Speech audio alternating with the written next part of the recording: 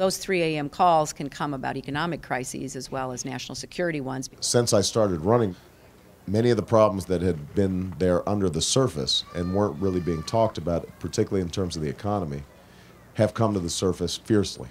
We have got to get control over our economic destiny. This cannot wait. So I feel so strongly, as you might guess. There are a lot of similarities between the economic policies of Senator Hillary Clinton and Senator Barack Obama. But there are still some important differences between the two. I want to really personalize these statistics. Mrs. Clinton tends to favor narrowly targeted programs to deal with specific problems, while Mr. Obama tends to favor broader programs that help middle and lower income families regardless of their individual circumstance. We got to take the same approach. Good morning, everybody. The issue that's burst onto the scene in recent days is a proposed federal gas tax holiday, a temporary suspension of the federal tax on gasoline, first proposed by Senator John McCain. I think we should have a gas tax holiday and pay for it. It says, guess what? We're paying attention to how much you are suffering. I think John McCain's proposal for a three month tax holiday is a bad idea. So look, people need immediate relief. I actually have proposed a middle class tax cut, and that will help offset some of the increased costs in gas right now. Hillary's plan? Use the windfall profits of the oil companies to pay to suspend the gas tax this summer. Barack Obama says no, again.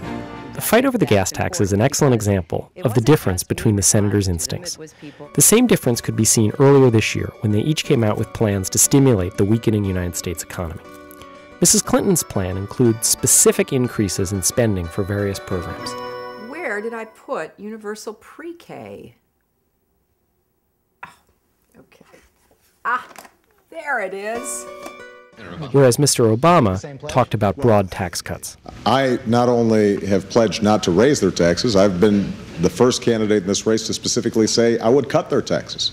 These contrasting instincts are also related to a key criticism of each campaign.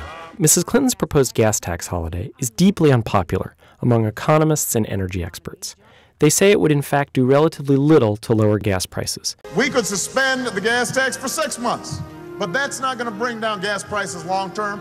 You're going to save about $25, $30 or half a tank of gas. That's typical of how Washington works.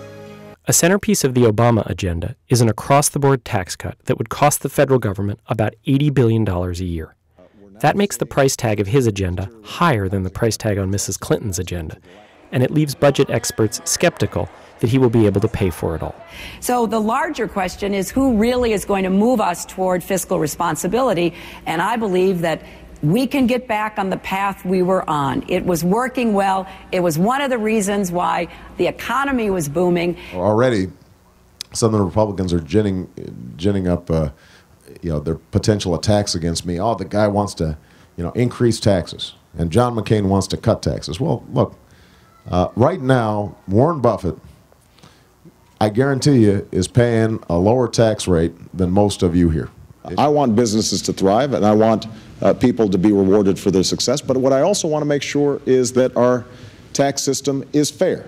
Despite these real differences between the two senators, Mrs. Clinton and Mr. Obama remain similar on many matters of economic policy. They both want to spend significant amounts of money to reform the healthcare system. They both want to regulate business more closely than President Bush has. And they have both been more detailed about how they would pay for their programs than Senator John McCain has been about how he would pay for his tax cuts.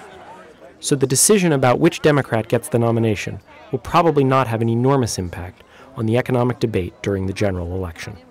For the New York Times, this is David Leonhardt.